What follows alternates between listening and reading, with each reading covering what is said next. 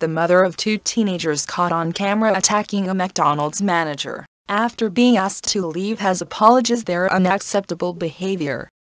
The mother said she is very sad and ashamed my boys would do this, before promising to deal with the situation. Her sons, believed to be between 16 and 19, were filmed drunk and shouting abuse staff the fast food restaurant in Boston, Lincolnshire at around 11 p.m. yesterday. Witness Jasmine Brudenall, 28, captured the brawl on camera, which started when the manager told them to leave for locking an employee in a cupboard and flicking his cap.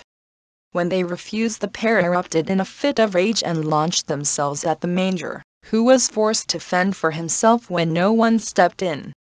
Jasmine said, the tall McDonald's worker went up to them and nicely asked I'm going to have to ask you to leave. I sensed was going to erupt. Sometimes you can tell when someone's so drunk that there is no chance of reasoning with them. One of the teenagers then starts throwing punches at the manager, grabbing onto his collar and using his other hand to deliver the vicious blows.